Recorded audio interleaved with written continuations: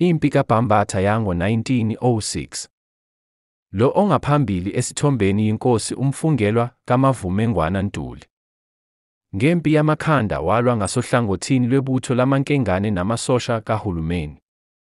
Uyise wakhe kwabe kuyinkosi uMavumengwana Ntuli, owayengomunye owayehola amabutho empini yaseSandwana kanye nenkosi uNtshingwayo kaMahole.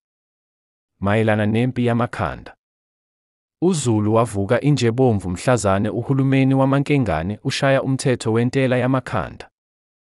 Umthetho wawuphoqa wonke amadoda, bonke abantu besilisa abansundu kwelikaMthaniya ukuba bakhokhele amakhanda abo noma i-poll tax.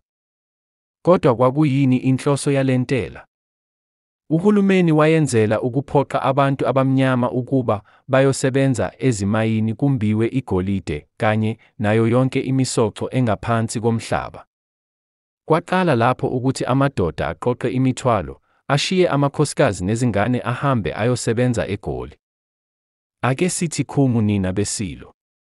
Siyobuye sinihlephulele okunye ngalomlando ngokuzayo.